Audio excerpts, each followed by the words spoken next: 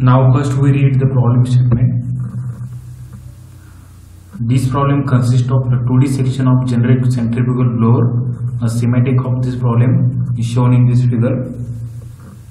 The blower consists of 32 blades, each with chord length of 13.5 mm. The blades are located approximately 56.5 mm measured from leading edge from center of rotation. The radius of outer wall varies logarithmically from 80 mm to 146.5 mm. You will simulate the flow under no load or pre-delivery conditions where inlet and outlet pressure are at ambient condition that is 0 Pascal gauge. Uh, this corresponds to maximum flow rate of blower when sitting in the free air. The blades are rotating with the angular velocity of 2500 rpm. The flow is assumed to be turbulent. Now, as shown in this figure, inlet condition, outlet condition here, inlet condition here. Now we start the fluid.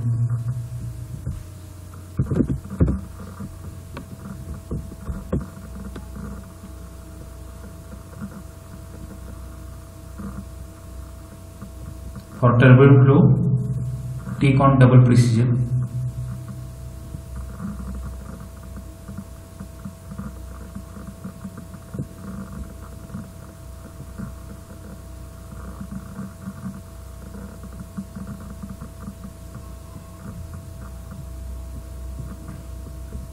Now read the mesh.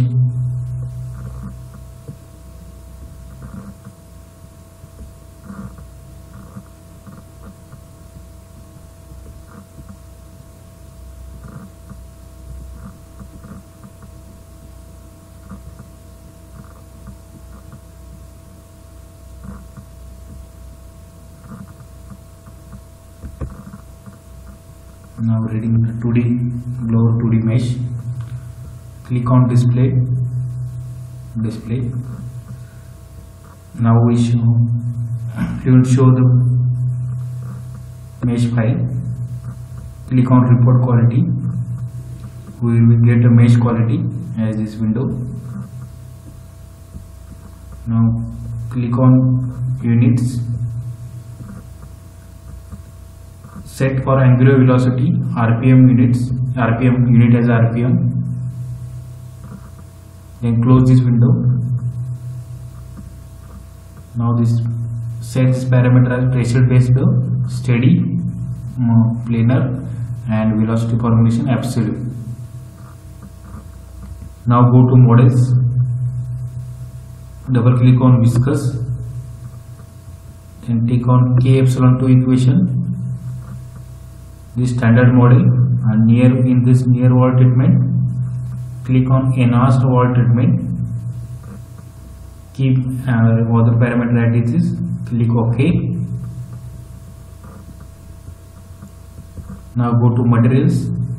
If you want to change a property of air you can change. Otherwise keep as it is. Now go to cell zone condition. As here as given in the problem statement the blades are rotating at an angular velocity of 2500 rpm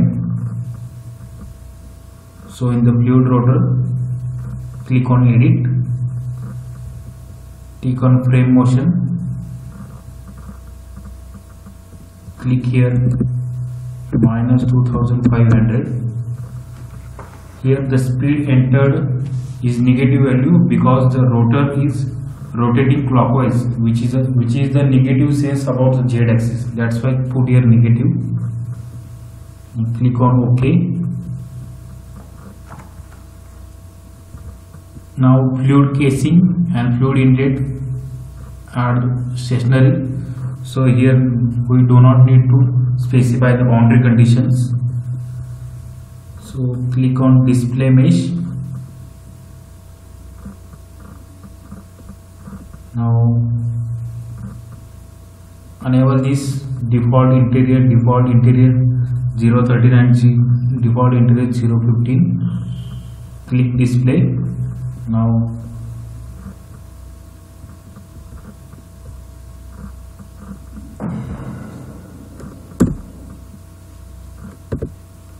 type in this window display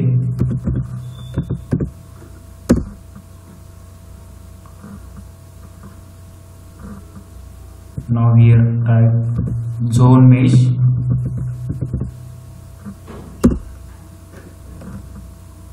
Click here for 4 type here 4 then enter and again enter. Then we will see this zone in this.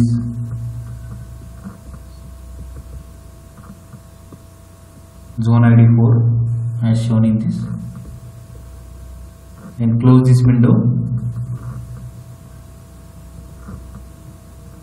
then go to boundary conditions.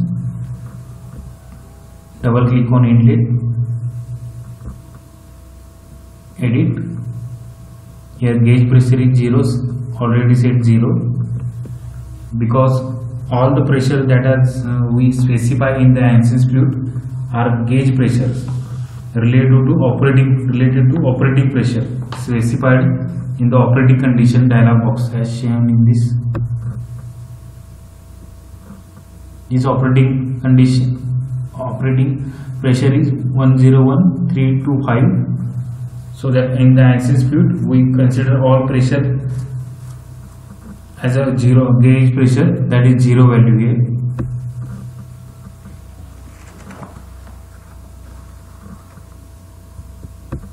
Go to outlet click edit keep as it is things.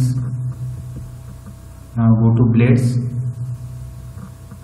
click on edit and click on moving wall and in this uh, click on rotational keep remaining things as it is click ok. Then go to mesh interface click on create and create and edit. Interface 1 in the interface zone 1 and click interface 2 in the interface zone 2 type here into one interface that is interface 1 click on create create this. Now click on interface 3 and interface 4 respectively. And type here into zone into 2 then again click on create. Then close this mesh interface window then go to solution method in the pressure velocity coupling select as coupled and in this special discretization in the pressure select standard and keep momentum turbulent kinetic energy and turbulent dissipation rate as a second order of point then go to solution control keep thing as it is go to monitors. In the residual and statics and force monitor click on edit.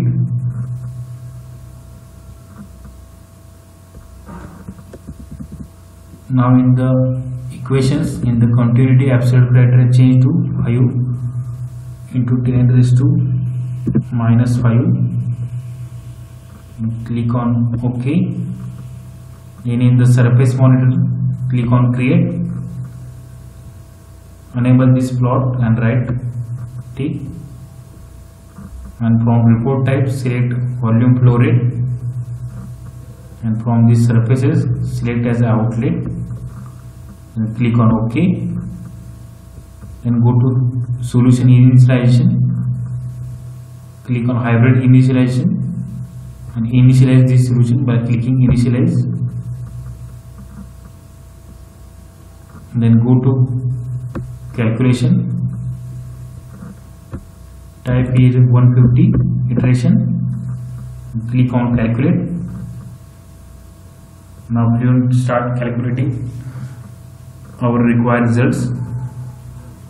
As this window show volume flow rate at outlet condition at outlet in the outlet zone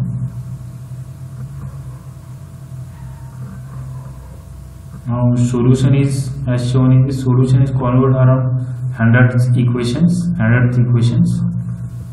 Now go to result in the graphics and animation. Click on control, setup click filter pressure we get click on display we get a result as a static pressure distribution.